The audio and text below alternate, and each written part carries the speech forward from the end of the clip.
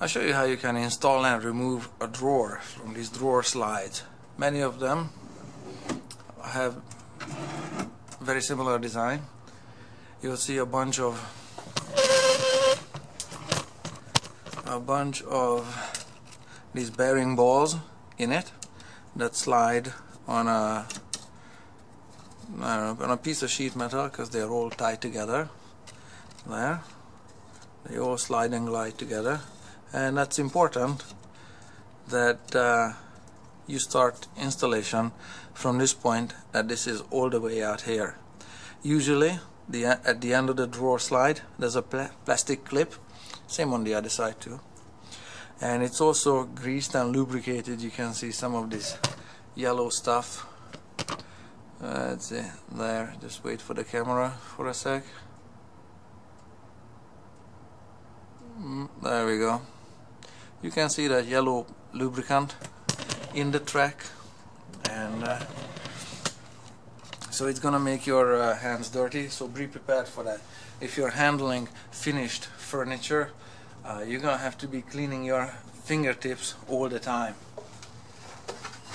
How you can make this neatly aligned because it's uh, it's important that this be that the two slides two sides be aligned and the drawer advance squarely not skewed. So extend both of these.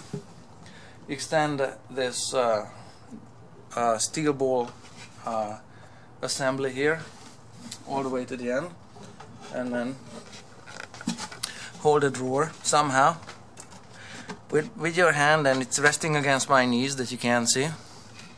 But uh, because you've got to see this portion here that they that they are lined up there on one side. Now I'm doing the same. On the opposite side you just can't see it because the drawer is in the way. But I'll show you how it looks like in a sec. Because the drawer now is just barely barely engaged with the barely held on with the with the drawer slide. However the important part is that the that this be not bulldozing this steel ball assembly in front of itself because it's possible for the corner of that drawer slide to bend one of these tabs up and there's gonna be these steel balls all over the spilt on the floor okay? So when you're pushing the drawer in just make sure that this steel cage that the steel cage stays at the front here even if you have to put your finger through or your screwdriver through here.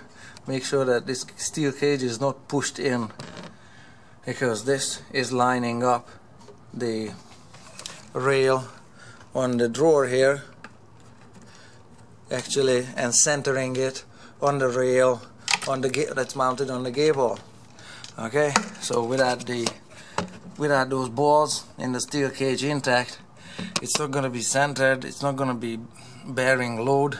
And this one is empty practically.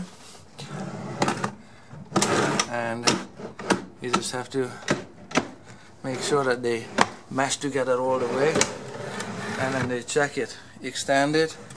And the steel balls these uh, the cage has to be moving here right right it is now. So it's all the way out at the end here there it is there. So we know that it's in here centering the drawer slide. Cent yeah, there you go. That's nice on that side.